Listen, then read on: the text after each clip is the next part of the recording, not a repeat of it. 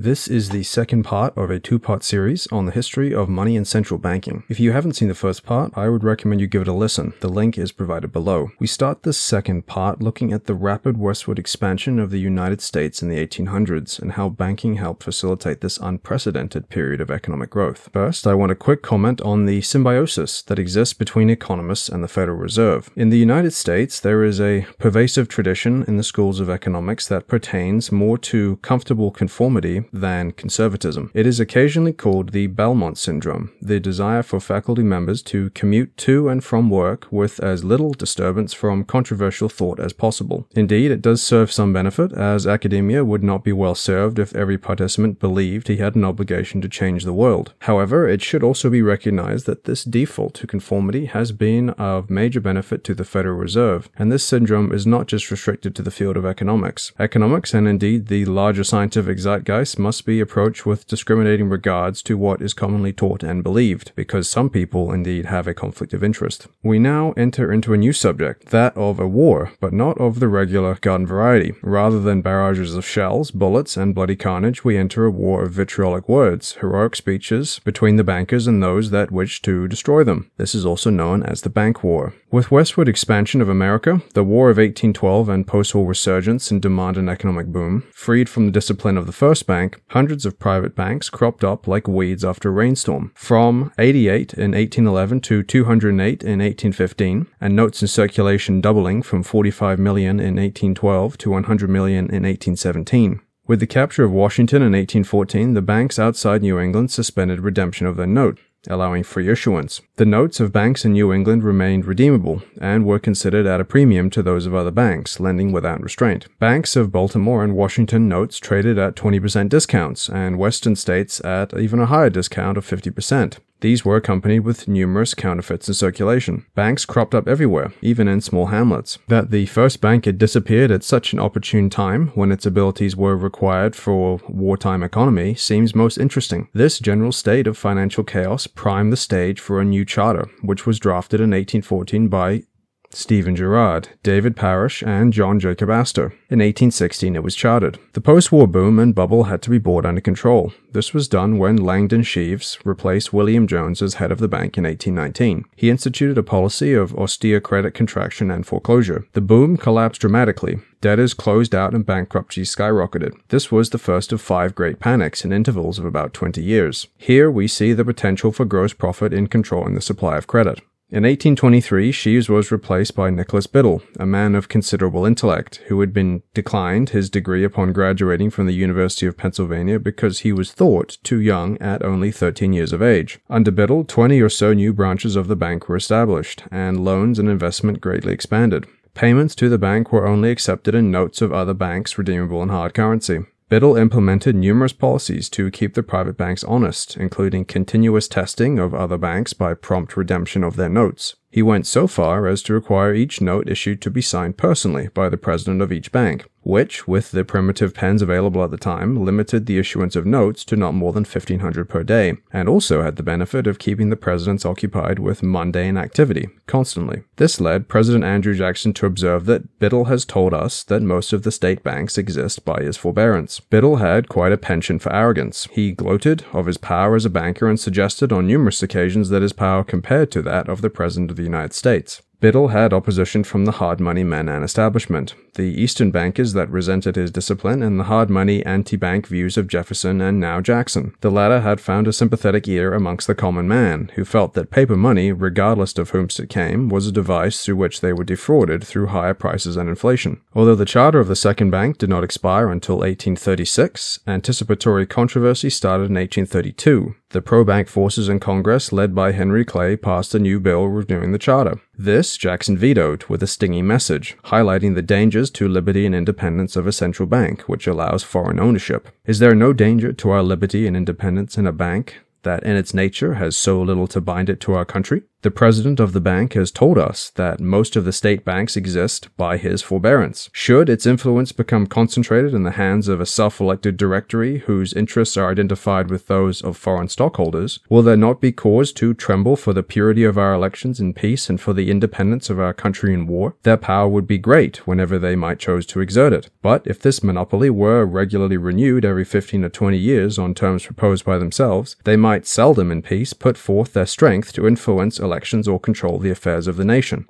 Should the stock of the bank principally pass into the hands of the subjects of a foreign country, and we should unfortunately become involved in a war with that country, what would be our condition? All its operations within would be in aid of the hostile fleets and armies without. Controlling our currency, receiving our public monies, and holding thousands of our citizens in dependence, it would be more formidable and dangerous than the naval and military powers of the enemy. Jackson was quite the formidable foe. He understood the power of a bank that allowed foreign ownership, foreign interests of such power that could plunge the United States into war whenever they desired, such as when the bank's charter was not renewed. He opposed the bank as a monopoly, a monster which, as Biddle claimed, had the power to rival that of the state. Nicknamed Old Hickory, Andrew Jackson was famous for defeating the English in 1812 at the Battle of New Orleans and notable for having survived an assassination attempt in 1835, when both pistols of the assailant failed to shoot. Winning the election a second time, more decisively than the first, with his vitriolic attack against the banks, Jackson moved promptly to remove all government deposits from the bank.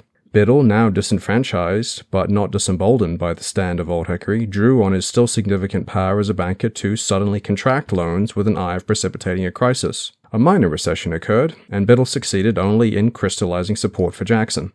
In the latter part of the 1800s and into the 1900s, Alexander's actions were viewed as a villainous act to destroy the great experiment of central banking. But this reception has largely warmed since the middle of the 20th century, as the conventional wisdom of bankers has again come into question. Jackson's rehabilitated reputation has been ascribed both perception and virtue to the common man, leaving a certain contrasting warmth in its wake. Jackson fundamentally viewed paper as the instrument of the devil. In destroying the bank, he got not hard money, but the softest of all an explosion of new banks and an avalanche of new private notes. But it was these loans that his voters most wanted. Had Jackson succeeded in establishing hard money, he would have likely been reviled by the small aspiring folk of the frontier. Historians, Pondering whether Jackson's financial policy was right or wrong must allow for a third possibility that maybe he did not fully understand economics as much as he thought. According to legend, as the British drew nearer during the Battle of New Orleans, he had given the historic command elevate them guns a little lower. Whether this was an attempt to raise morale of his cold and embattled troops,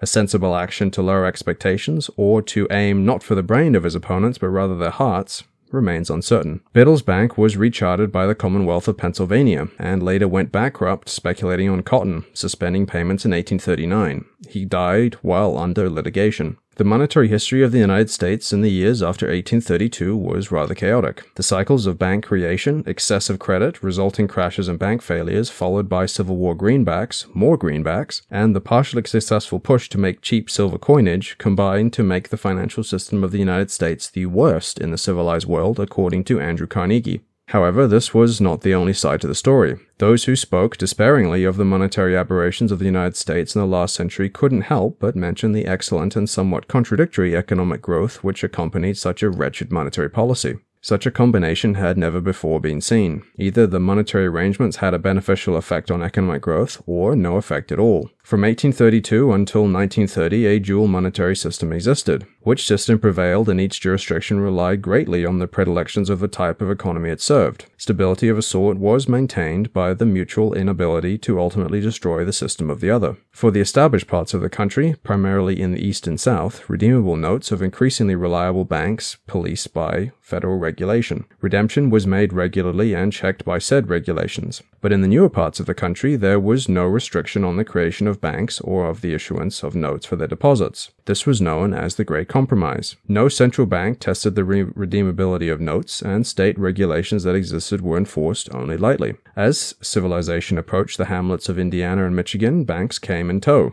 Notes issued by these banks were used as the local currency, often with deposits from investment of the East, which allowed the farmer to buy equipment and feed for his lands. If the farmer turned a profit, the loans were paid off and the bank survived. If not, some Eastern investor would be left with a fistful of worthless dollars. While it was an arrangement often viewed with great distaste by Eastern bankers and merchants, it was not altogether unprofitable. The clever investors of the East could uh, learn to distinguish between the reputable and less reputable banks in their notes, declining or forcing discount on dubious notes. Losses occurred, this is true, but also significant profits on the back of expanding economic productivity. The monetary anarchy of the frontier provided far greater access to credit than a more orderly and established system would have. The price of such a system was repeated cycles of boom and bust, and failing of the new banks. These were known as the panics. The end of the Second Bank of the United States completely liberalized the chartering and regulation of banks and placed them in the hands of the states, or even in the hands of the locales which they served.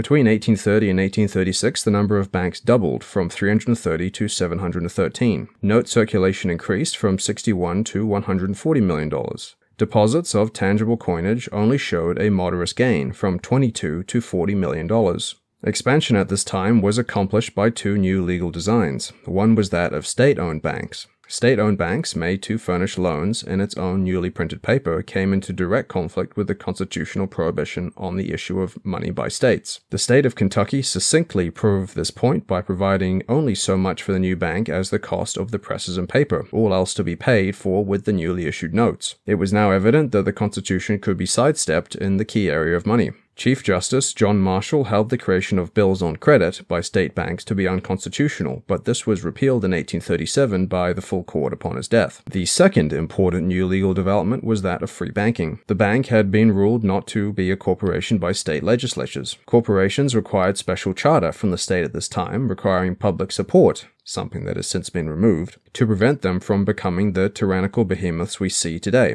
States did not make rules to the amount of reserves to be kept, but these were enforced with great variation from state to state. A bank in Massachusetts with a circulation of $500,000 was later found to have a modest $86 in reserve. Usually, it took a large local failure to coerce adequate enforcement. Michigan banking in the 1830s required a 30% reserve requirement in gold and silver, and commissioners were put in circulation to perform regular inspection. However, it was possible to game this system by moving deposits from bank to bank as the commissioners arrived. Sometimes a bank would be founded in a remote location and notes issued to borrowers in the hope that such remoteness would discourage inspection or redemption of the notes. Many banks of this period were managed responsibly. Even amongst those that failed, many did so after an honest and useful effort that stimulated the local economy and made worthy men established on farms or in business. In 1836, the federal government decreed that purchase of public lands must be made in hard money. This was long believed to have put a stymie on lending and bank creation, as purchase of public lands for agriculture was the backbone of growth at the time. In 1837, a panic ensued, though there is not clear grounds to believe any correlation existed. In response, regulation was tightened greatly, and the number of banks declined from 1840 to 1847 along with note circulation. By the time of the Civil War, the number of notes in circulation dwarfed the number of coins 10 to 1 that the first Bank of Amsterdam had to contend with in 1609. Over 7,000 different notes were in circulation. To accompany this, an estimated 5,000 counterfeit notes were concurrently in circulation. Anyone hoping to do successful business had to regularly purchase notes on the good and bad species in circulation, known as note reporters or counterfeit detectors. The occurrence of the Civil War and exigencies which were urged against the chaotic system that was the state banks. While a new central bank would not be entertained, a new system of banks chartered by and under heavy regulation of the federal government was a possibility. In 1863, at the strong behest of the Secretary of the Treasury and Congress, the National Bank Act was passed establishing a new system of national banks. To regulate note issue, the banks had to purchase federal bonds and deposit these at the Treasury. Notes could be issued up to 90% of the value of these federal bonds. If a bank capsized, the notes could be redeemed for bonds with appropriate margin for full recuperation. Put simply, the bank would be required to purchase federal bonds and provide capital to the state, and the state would pay interest and ultimately the full sum of the bond upon annulation. Said purchase bonds would then be used to back the new currency and could be redeemed for bonds if so required. The quantity of banknotes issued would depend on the number of federal bonds available. If the government was profligate, so would the volume of bond securities and therefore volume of notes. To protect against this, Congress limited the first issue to $300 million. What was particularly strange about this was the economic circumstances following the Civil War. For several years, the federal government ran a heavy surplus but could not pay off its public debt, for in doing so would remove from existence the bonds which backed the national banknotes. To pay off the debt was effectively to destroy the monetary supply. Then in 1865, Congress was persuaded to do away with state issued notes. A tax of 10% was levied against all state bank issued notes, which was perhaps the most impressive gesture that the power of tax is indeed the power to destroy. To counteract this, note issuance declined, instead being replaced by use of deposits and checks. In providing a loan, the bank would provide a deposit to a lender, which was then paid out in checks. Deposit creation was significantly more prudent than notes, as checks would often return promptly to the bank so that the recipient could transfer the deposit to his own bank. In this was an over-leveraged bank would quickly find itself insolvent. This was in stark contrast to notes, which may never return to the bank as they circulated. However, insolvencies of small state banks still occurred when they expanded their deposits of loans too quickly. In the years before the Civil War, the hard currency of the United States was gold. The opportunity for arbitrage existed for some time between gold and silver dollars, such that it was profitable to use to buy gold, which was then minted, could be used to buy incrementally more silver than originally outlaid, so on and so forth. This drove silver out of circulation and into the hands of the profiteers, so that after 1837 the money of the states was effectively gold. As the war commenced, by June 1861, public expenditures reached $67 million. A year later, they ballooned to $475 million.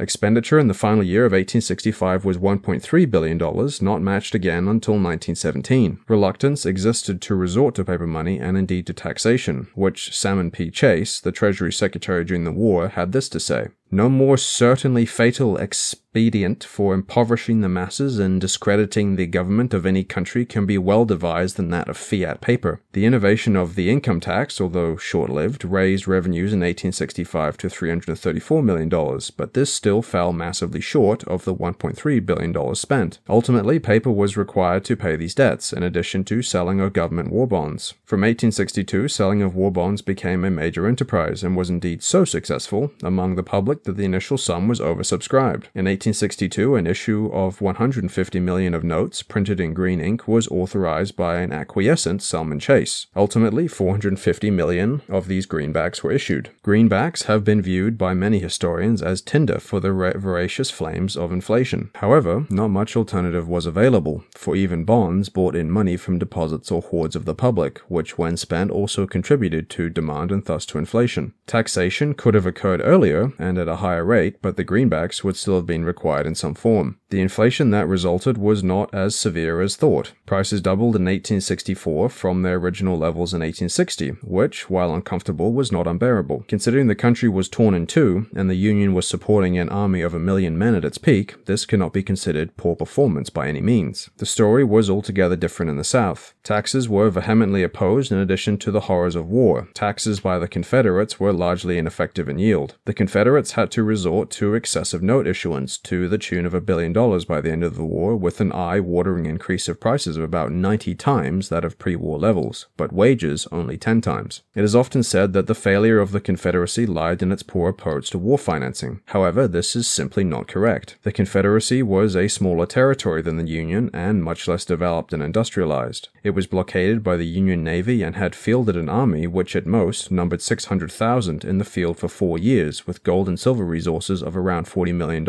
This was a mere fraction, that of the Union. The miracle was not that it lost, but how it fought on for so long. The Greenbacks began retirement in 1866 at a rate of 10 million for the first six months and 4 million per month thereafter. It was an unpopular policy, as the Union now had to pay for reconstruction in the South. Government expenditures remained high. Wheat had fallen from $3 a bushel to $2.50 from the end of the war in 1868 and to $1.50 in 1869. Soldiers returning home from war to their farms were amongst those hardest hit from the shortage of currency. The retirement of greenbacks was stopped in 1868 and a further issuance of 400 million was passed but vetoed by President Ulysses Grant question fell to the electorate and the Greenback Party, but this was unsuccessful. The total circulation of greenbacks stayed at 346 million of the original 450 million for decades to come. 1878 marked the high point of relevance of the greenback. At this point, the world's focus shifted back to silver.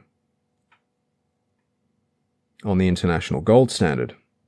In 1867, the European states met in Paris and agreed to make gold the standard upon which their currencies and payments between each other would be based. America followed suit. In 1873, Congress enacted legislation to drop the silver dollar from the mints. In 1879, the remaining greenbacks were made convertible into gold and gold alone. National bank notes being convertible into greenbacks were now also fully exchangeable into gold. The return to a gold standard was achieved with little difficulty. The rapid expansion of currency during the war had now been offset by the voracious speed at which industry and agriculture was expanding. Paper circulation, once large in relation to the volume of transactions, was now small, and prices were back to pre war levels. The transfer of currencies from gold and silver reserve to gold alone in Europe had the effect of causing silver prices to fall, especially in the case of the Prussian banks and their vast silver reserves for gold. In the 1870s, large deposits of silver were discovered in Nevada, further lowering prices. Conflicting reports allege that the push to drop the silver dollar was spearheaded by an English financier, Ernest Seyd, who had received funds from English bankers to bribe Congress. However, a congressional inquiry in 1892 found written evidence from Seyd advocating for maintaining the silver dollar. The conspiracy later expanded to be that of the Jewish banking cabal. It was more likely that the silver was dropped as a reserve because all other developed countries were dropping it at the same time. A political battle now commenced between the silver proponents and greenback supporters. As before, the free money greenbacks were supported by the newer expanding states. They held much support in Congress, and the silver hard money men had the president. In 1878, new legislation was enacted by Congress to purchase two to four million dollars of silver a month at market price to be minted into coins. The soft money men hoped to placate the hard moneyers with this, but it was unsuccessful. Agitation continued not for the minting of a little silver, but all the silver that could be had. The silver men were staunchly religious and felt that the cause of silver dollars was that of a religious one. In 1890, silver purchases were further liberalized. Treasury notes issued for silver purchase were redeemable in either gold or silver, gold being slightly more advantageous. Gresham's law applied once again, and gold was withdrawn preferentially and hoarded or used for overseas trade, using notes used by the government to buy silver. Gold disappeared from circulation, and in 1893 there was a run on gold stocks held by the Treasury. In an attempt to relieve the deflationary pressures of a gold standard, a silver alternative was incorporated, for which gold presented an opportunity in arbitrage and overseas trade. In 1900, cosmetic legislation on coinage and note issuance further affirmed the commitment to gold. Some purists date the adoption of the gold standard in America to 1900 as a result. The 1900 law loosened reserve requirements, allowing the reputable national banks to issue notes on the full 100% of government bonds deposited in the Treasury. What followed was a prompt increase in the note circulation of the central banks. Over the next eight years, it doubled, and this was praised by men of finance to be necessary in facilitating growing commerce in the country. As we approach the turn of the century, we also approach the Gilded Age. The Gilded Age, stretching from the 1890s to the first decade of the 1900s, was a fantastic time to be rich. No income tax existed, for it had been abolished after the Civil War. There was an unprecedented period of economic growth. Even for the poor, real wage growth was 60% between 1860 and 1890 as it was easy for those who had wealth to profit from interest on their money or appreciation in land prices, the problem of the rich turned to what agreeable activities they could invest their time. Travel from America to Europe became a prerogative of the rich, as only the poor could not afford to travel. The ability of the rich and their acolytes to see social virtue in causes which serve their interest, and to depict as foolish or immoral those which did not, has never been better demonstrated than in their support of gold and condemnation of paper. The rich felt little interest in economic growth that did not serve their own ends, or the arcane mechanics which paper could exert in raising or indeed crashing the wealth of individuals. It was in 1907 that language, like many other things, started to become the servant of economic interest. Up until 1907, bank runs were called panics, but such a word was rather shocking and undermined the confidence of businessmen and bankers. Thus, economic setbacks were changed from panics to simply crises. However, with the emergence of Karl Marx's works on the capitalist crises, the word fell out of use by the 1920s, being replaced with a much gentler euphemism, that of depression. When the Depression turned out to be one of the worst economic events in history, recession made its feature. One can even gain an advanced degree in economics studying business cycles and sideways movement, such is the progression of economic terms. The panics of the 1800s in 1819, 1837, 57, 73, 84, 93, and 1907 happened so regularly that it was thought that this wave like behavior was natural in capitalist economies. Recognizable similarities existed in all panics. First, an expansion of business activity centered around one dominant form of investment, such as canals or railroads, that helped tame the geography of the land to benefit greater trade. Sensible expansion gave way to speculation of insensible and unsustainable expansion, causing prices to rise rapidly. Between 1819 and 1837, speculation was predominantly that of land. In 1836, it was that of canal construction. From 1857 to the end of the century, it was the great boom in railway construction construction and speculation on the securities that facilitated railroad construction.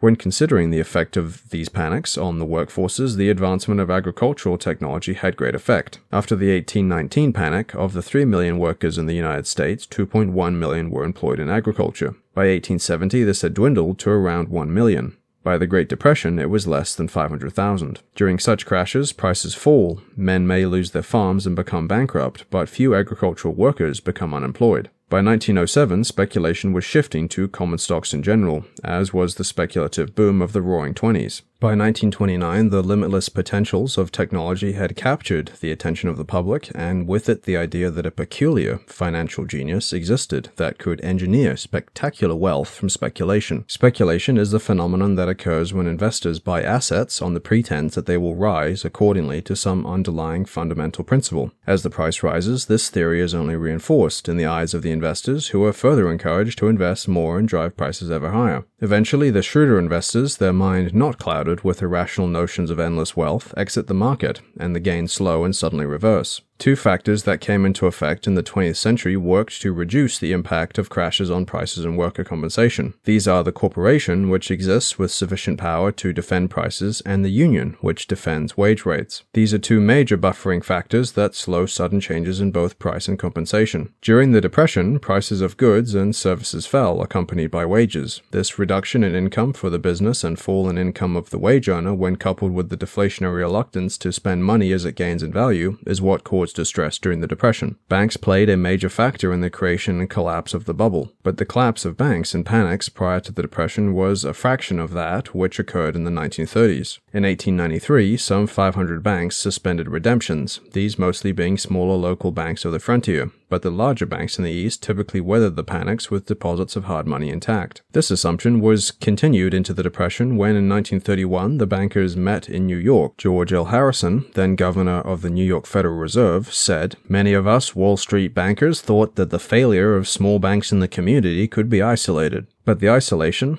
of the Great Compromise, that of the cowboy paper banks of the West and hard money banks of the East, had been evaporating over the early years of the 20th century. More country banks were keeping deposits in the New York and other big city eastern banks. When the small banks felt the strain, they drew on deposits held by the big banks. Speculation had become less of a local and more of a national pastime. New York had also been developing a new bank, the State Trust, one significantly less regulated than traditional banks. They had had much greater growth than the traditional banks during the speculation of the early 20th century. Between 1930 and 1934, some 9,000 banks suspended redemptions. It is not just the depositors and owners of banks that lose their money during a bank failure. There is also a shrinkage in the monetary supply. This 20-fold evaporation of monetary supply when compared to panics of the previous century, in addition to the increased involvement of country banks with the big banks, is thought responsible for the devastating impacts of the Depression. The attitude of investors in the New World, a place rich in resources in a way never before seen, lended itself to speculative insanity far more so than any other region in the Old World. Fortunes could be made overnight and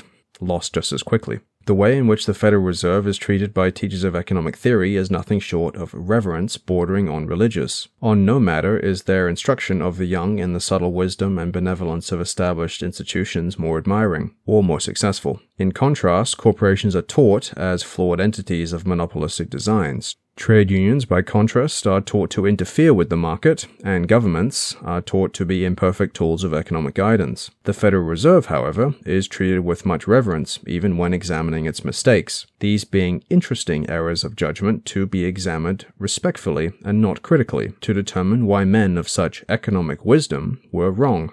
Other sources have described the Open Market Committee of the Fed as the most powerful group of private citizens in America, and this is close to the truth. The Fed was the product of Paul M. Warburg and Nelson Aldrich beginning in 1910. Warburg was undoubtedly the more skilled financier and was to correctly predict the disastrous crash of the out of control bull market of the 20s, much to the wrath of Wall Street. Much care was made to avoid the word bank in the proposal, which had become a word of unwholesome connotation. Aldrich was known by the opposition to be attempting to strengthen the shadowy power of the New York Money Trust. In 1912, he introduced legislation to establish a National Reserve Association with 15 regional branches. These would hold the reserves of the participating banks. The banks could turn to the National Reserve Association for loans in time of emergency. The opposition, staunchly opposed to a single reserve authority, accepted it. Woodrow Wilson, becoming president in 1913, was to accept the opposition's view that a central bank was necessary and signed the Federal Reserve Act into law in Christmas 1913. The 12 regional Federal Reserves each had a board of nine members, six to be selected by the participating banks and three by the government. Member banks were required to maintain a specified reserve against their deposits, a third of which was to be kept at their regional reserve. Reserves could be gold, silver, greenbacks, or treasury notes. The membership fee of each bank was 6% of their capital. Against its deposits, the Federal Reserve Bank was required to maintain a 35% reserve of lawful money. The system was to be the place of deposit for government funds. Unlike the Bank of England, the Fed could not directly do business with the public. The old compromise still existed. The good banks for the financial community and sound currency they wanted. For the still expanding frontier, casual banking that served the interests of agriculturalists whose deposits were created on small or exiguous reserves. It was the small country banks that were handled in a way somewhat illogical. The reserves required by each bank participating in the Fed were dependent on the size of the cities they served. 18% for the largest and 12% for the smallest. Banks of Chicago and New York required 18% reserves. The frontier banks were allowed to operate at 12% reserves, something that in hindsight was very reckless. The interest for such an arrangement was that of the banks themselves. More lending produces more profits. As of March 2020, these reserve requirements were reduced to zero for all banks by the Fed, which, when compared to history, is a foreboding measure indeed. Recent inflation has little to do with the so called cost of living crisis and more to do with rampant monetary expansion. The monetary velocity of these newly printed dollars has been low, however, for the time being, which is the sole reason that crippling inflation has not yet occurred. However, not all banks chose to join the system. By 1929, 65% of all banks were still outside the system, and they were the smaller banks. That said, of the 35% in the system, they controlled two thirds of all bank resources. The Fed was a party of the big banks. Just as the new Fed system was getting underway, the US was moving into war. It is a common cliche that this was the Fed's first crisis, and it met it well. This is absolute nonsense. The various regional Federal Reserves bought government bonds and helped sell them as the Treasury required. Where private peacetime loans can be refused, government loans in war cannot. In this, the Fed has no power. In the first few years of the system, the regional banks took their autonomy seriously, especially the New York Fed under Benjamin Strong. The Fed in Washington, however, was hobbled by the slight power afforded to it by the Federal Reserve Act. It lacked prestige, and in time, simple competence as well. The government officials on each Fed board were paid government salaries, in stark contrast to the bankers who were paid banker salaries. This did not bode well, as a man's worth at that time was seen to come from his salary. Later on, the trend emerged of moving from government board position to presidential banker position at double the salary, which continues to this day. The government appointees to the board typically lack the expertise of the bankers in the more complex mechanisms of banking, and they did not properly grasp the nature of companion step, open market operations, the buying or selling of government securities. The sale of bonds puts cash into the reserves of the Fed, reducing the reserves that allow a bank to further lend. This requires the banks to either reduce lending or borrow from the Fed at a new and higher rediscount rate to continue lending. It was this principle that the government appointees on each board failed to fully grasp, denying the most powerful capacity available to that of a central banker. It was then in 1935 that Roosevelt amalgamated the regional banks into one. The functions of the district Federal Reserve banks became largely mechanical and advisory. Today, the 12 district federal banks and their buildings serve as simply branch operations. Their mechanical tasks compose of clearing checks, routine movement of currency, and management of government financial transactions. And this is indeed useful, and these transactions are vast. But the illusion of autonomy and importance still survives, as seen in pamphlets published in 1971 by the Federal Reserve of Richmond, Virginia, with the board of directors deliberating around a table. The economic textbooks of today work to maintain this illusion without exception. On the outbreak of the war in 1914, the major participants of Germany, France, Britain, and Austria suspended redemptions in gold and silver and went off the gold standard. For a hundred years, Europeans had been investing in the United States, and six billion of American securities were held abroad. If these were liquidated for cash, American gold reserves would quickly evaporate. This was true, for the Fed began business that autumn with a mere 200 million in gold in its vaults. Fears of such liquidations led to a dumping of securities in the New York market, and the dollar fell from $5 to $7 per pound sterling. For a short time, arbitrage existed, where dollars could be redeemed for gold, and the gold shipped over to Britain to buy sterling at largely the pre war price, and then shipped back to buy dollars. This was dampened by the German U boat navy, however. The New York Stock Exchange closed down in autumn on the expectation of panic selling, but reopened several months later in December, when the financial experts realized that there was an appeal to a country so far displaced from the overtures of war. While it was closed, a clandestine exchange operated with typewritten notes on closing prices. These were seen to be largely the same as pre war prices, which had led to the exchange reopening soon after.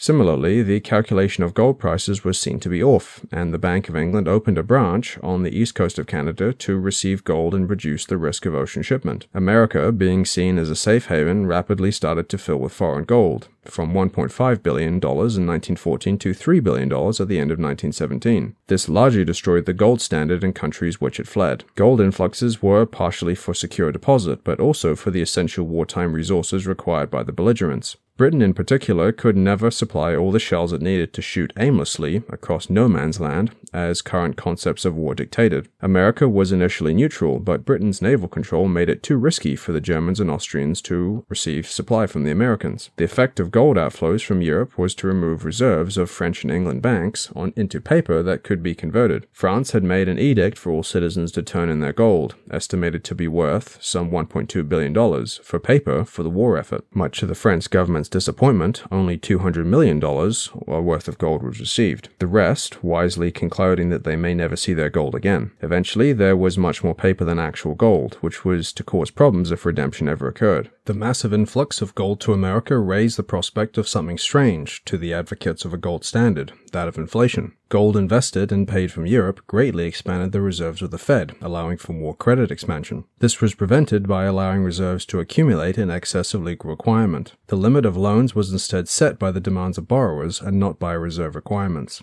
It was not until 1917, as America entered the war, that the gold standard was suspended. American loans had replaced the gold which Britain and allies used to purchase goods. Instead, gold started to flow out to the neutrals, leading to the gold standard suspension. American citizens were still allowed to redeem paper money for gold in the home country, however. World War I was, domestically speaking, a hard money war, something rare and exceptional indeed. Taxation then made a feature. It is estimated that 30% of American costs in World War I were furnished from tax revenues. The rest was made up using methods similar to those of previous wars. Instead of money printing, however, the Treasury could now borrow from the Federal Reserve. As a consequence, the Fed got newly printed bonds and the Treasury got newly printed reserve notes. In effect, this only differed from greenbacks in a superficial form. The debt interest on greenbacks was the inflation and devaluation of money held by all participants. For this new method, it was interest the government had to pay to the Fed For the bonds the Fed held. The public were encouraged to buy government bonds for the war effort. So called war bonds promoted saving and reduced spending, lessening the inflationary pressures of new currency. Some buyers were even encouraged to take loans from banks to buy bonds, which were then deposited as collateral in the banks. In the post war years, a difference in interest rates made holding onto the bonds profitable, and people kept their bonds and repaid the loans, which made the post war slump in consumer expenditure marginally worse. This was not noticed in the heavy euphoria of war, however however, nor did anyone question why such an indirect route to buying excess bonds would be encouraged. The reality of the Fed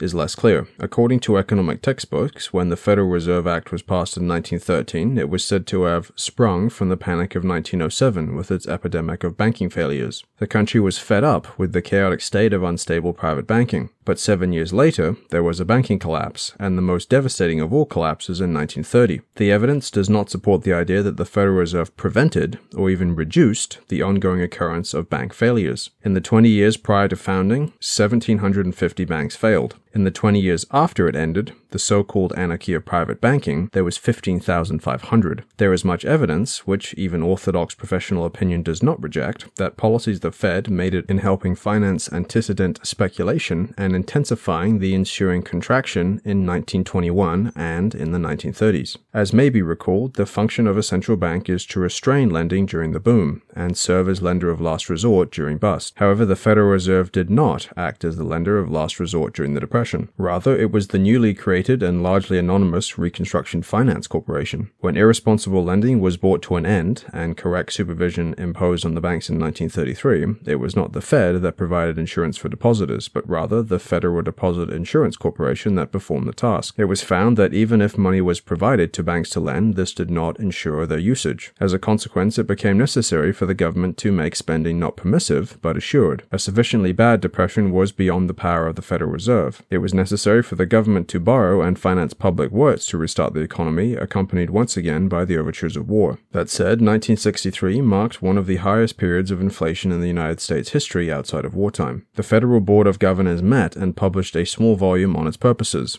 It said, Today, it is generally understood that the primary purpose of the Federal Reserve System is to foster growth at high levels of employment and a stable dollar. The Open Market Committee met repeatedly on the problem, but the inflation continued. When inflation slowed, unemployment grew. Today, this is known as stagflation, and much is said about its causes, but little is conclusive. It may arise from expansion of the monetary supply at a rate greater than intrinsic economic growth. It is a recent phenomenon, and it continued through the 1960s until the 1980s, and was likely worsened by the oil shocks of 1973 and 1979, when Middle Eastern oil suppliers voted to unanimously raise oil prices. The system of the Federal Reserve has provided some objectively beneficial aspects, however. It brought into existence a highly efficient method for cashing and clearing checks, which no longer charge for the cashing of checks at other banks. No Federal Reserve employees were ever found to have been embezzling funds, although something must attribute it to the fact that tangible money is so rarely handed by its employees. Returning back to the First World War, inflation did make an appearance in the States, mostly in 1916 and 1917 prior to entry into the war. By 1918, wholesale prices had risen 350%.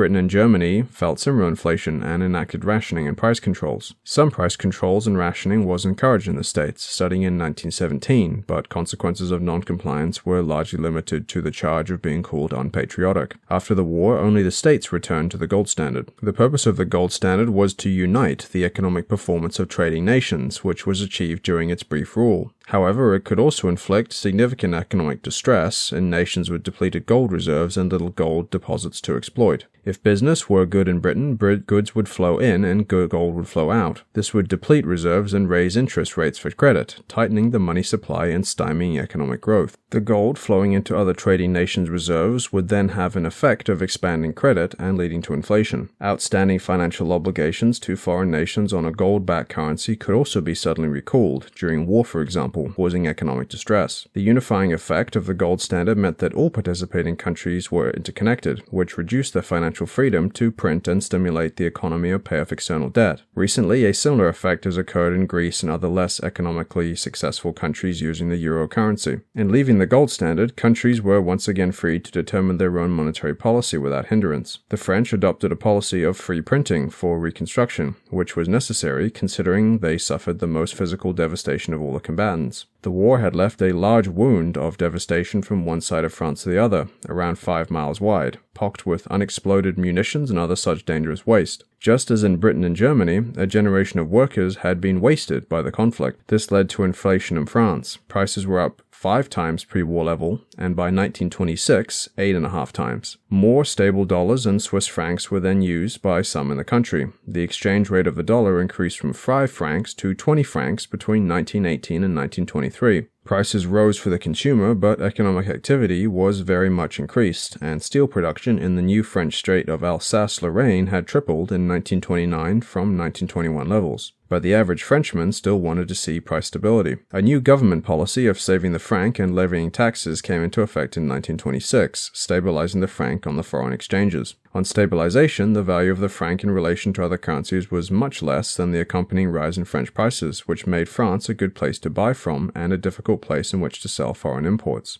This resulted in large gold influxes. France returned to the gold standard in 1928, blessed with much gold, but redemption was limited to amounts of 200,000 francs or more, well above that which ordinary French could afford. The value of gold had increased five times in francs that of pre war levels. France continued to demand reparations from Germany, which undoubtedly led to the collapse in Germany. France tended to have a tendency to rise above all misfortune. Britain, being heavily reliant on external trade, had a more difficult to manage economy. Government spending was cut, the budget brought back under control, and unemployment rose to 12.6% in 1921. Churchill, the current Chancellor of the Exchequer, with the support of $300 million in loans from the Fed and JP Morgan, announced a return to the gold standard, as he assured to be followed by the rest of the British Empire. That gold could only be had for export payments was seen as a minor defect. There was an error in this calculation, though. The gold content of the pound was restored to pre war levels. The exchange rate for dollars was too high. This meant that pounds were best used to buy gold or foreign currency, and used to buy foreign goods. Domestic goods had to fall in price by 10% before they were competitive, which led to falling wages, rising unemployment, and an unhappy workforce. The coal miners, a comparatively intelligent workforce, were most unhappy with the decline in wages. By 1929, unemployment was falling and output increasing at a modest rate.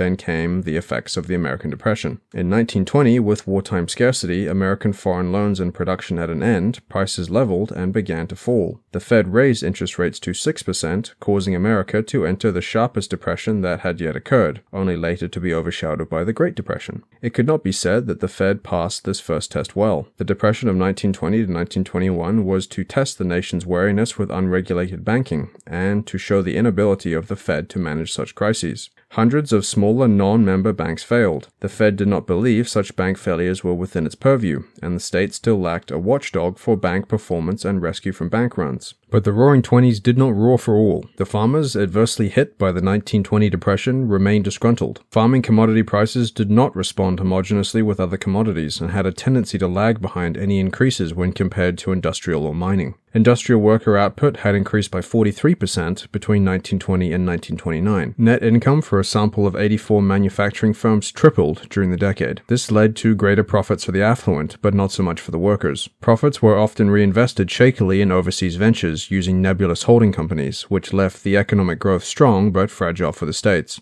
This was the precursor to conglomerates, performance funds, growth funds, offshore funds, and trusts that was to make a large feature in the 60s and 70s. The high profits of the period led to a stock market boom starting in 1924. The average of 25 industrials, which had been at 134 at the end of 1924, rose to 331 at the beginning of 1929, and 449 by August 1929. Individuals and investment trusts rushed to invest, going so far as to take credit from commercial banks to do so. Banks provided loans whose collateral was the stocks said loans were to buy. These banks borrowed extensively from the Federal Reserve. Thus, it is correct to say that the Federal Reserve was the ultimate financier of the 1920s boom. The Fed did nothing to stop the speculation and instead encouraged it. In 1929, the Federal Reserve Board of Washington, still having some autonomy, issued a warning against using Federal Reserve funds to finance speculation. This was much to the objection of the New York Fed at that time, directed by Charles E. Mitchell, previously head of the National City Bank and Chase National.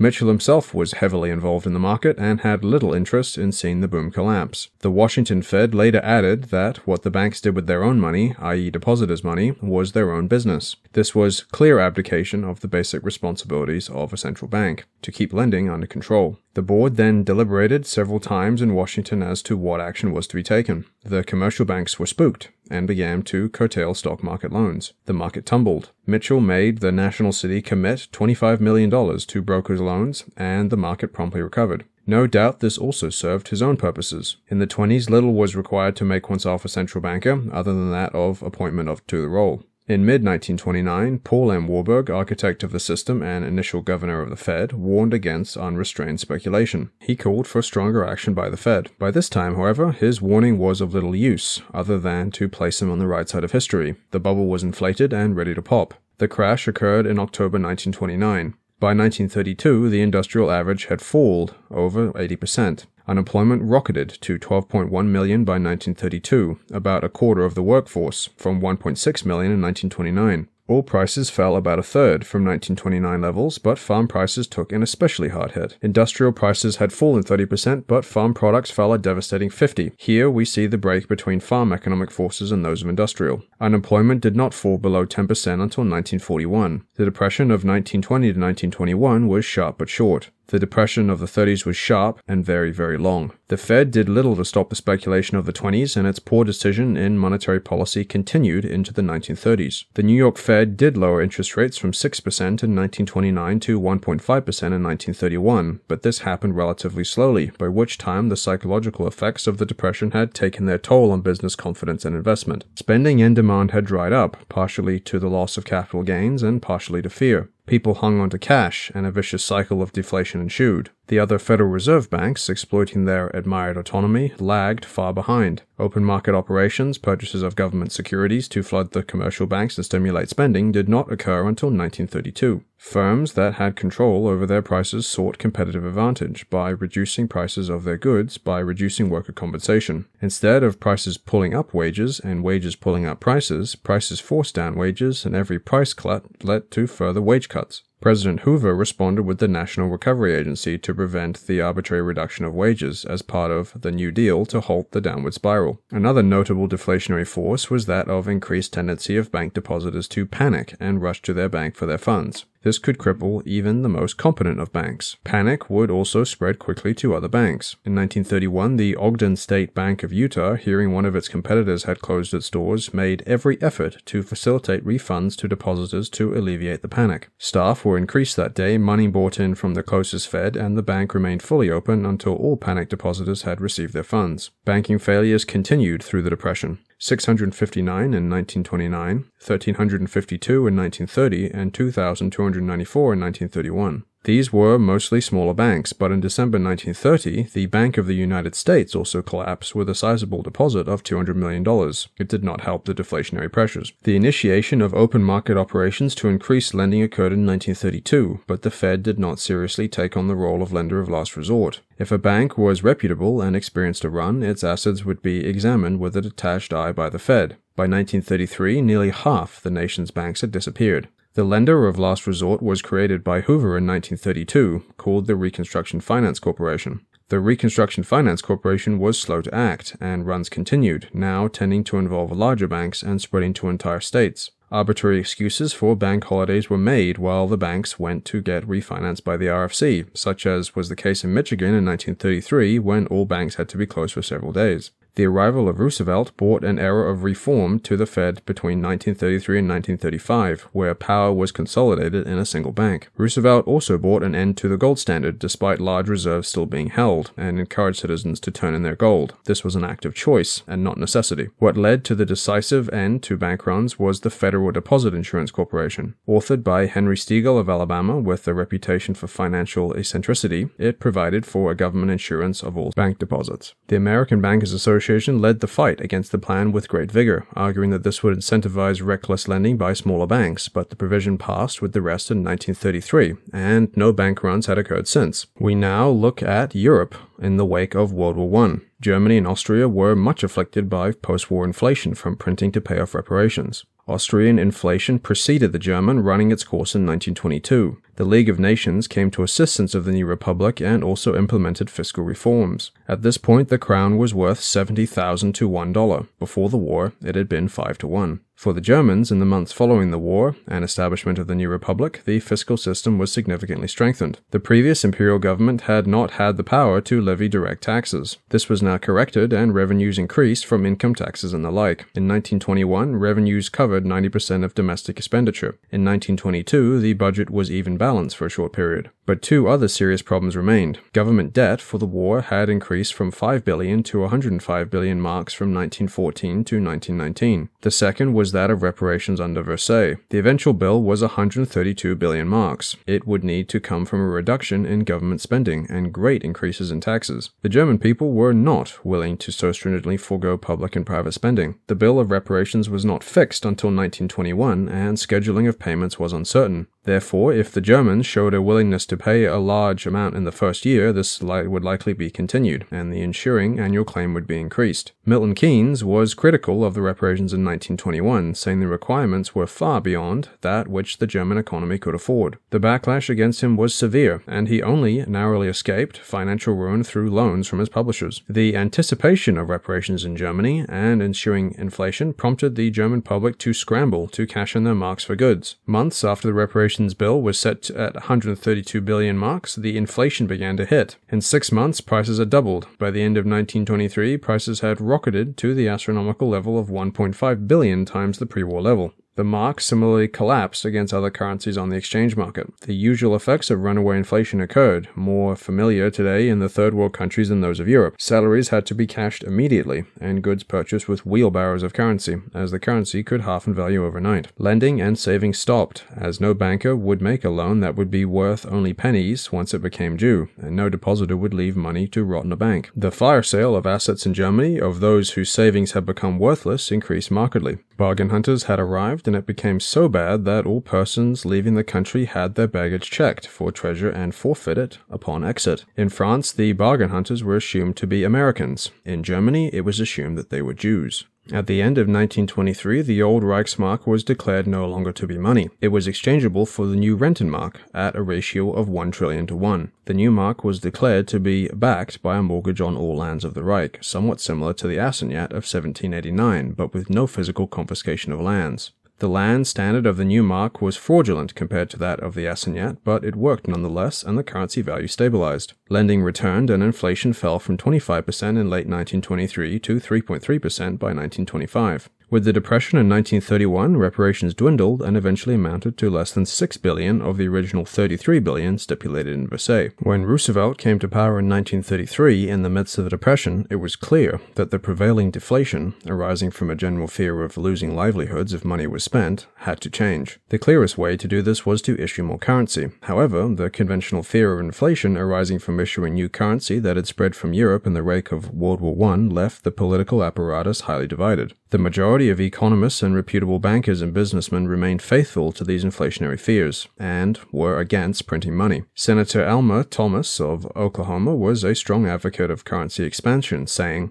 we must have more currency in circulation. I care not what kind silver, copper, brass, gold, or paper. The issuance of more money would have had the eventual effect of halting the gradual rise in value of money that often delayed its expenditure, in addition to increasing general liquidity. But to want to print money was to be branded as an inflationist, which immediately undermined political support. The turning point for the sound money men, the anti-inflationists, was the London Economic Conference in late 1933. At this time, some countries had left the gold standard, but others had not. The countries that had left the standard enjoyed the advantage of being able to siphon gold out from those who had not during trade. The United States, being a massive industrial producer, would benefit from going off the gold standard to lower the value of its currency and cheapen its exports, and Roosevelt made this happen. However, the expansion of the money supply during the Depression was not as simple as printing money. Money printed by the Federal Reserve between 1933 and 1934 had been used to buy government bonds, to pay government expenditure, and buy gold at increasingly high rates of dollars to the ounce. It should also be noted that purchases by the federal government constituted only 6% of the gross national product in 1940, a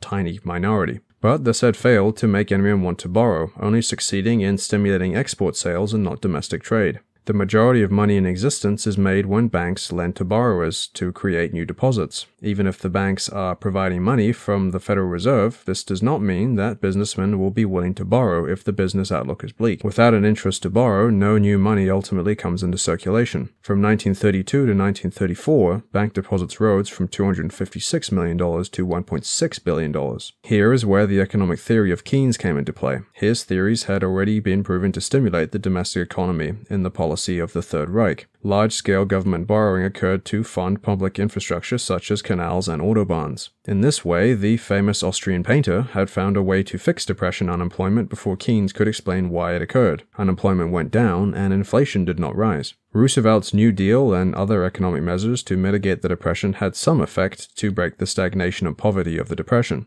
Between 1933 and 1937, unemployment fell from approximately 21 million to 14 million. These 7 million workers building new roads, schools, and other critical infrastructure. This showed a useful utilization of printed currency. It had another benefit of helping to raise the working class out of abject poverty, but the mobilization for manufacture of arms during World War II is most commonly thought to have brought the Depression to an end, and the war economy dropping total unemployment to less than 2 million from the original 21. Now, at around 20,000 words, I have to bring this comprehensive explanation of money, banking, and economic policy to an end. As we can see, adequate circulation of money is critical for a functioning economy, and it is crucial that this money is stable and not subject to high levels of inflation. Currencies backed by gold, silver, or land worked well historically, but any scarce paper money can perform a similar role if printed judiciously. What makes money useful is scarcity above all. The ultimate role of central banks is to regulate private lending to prevent bubbles and sudden collapse of economies and to serve as a lender of last resort for responsible banks that have become victims of hysteria and bank runs.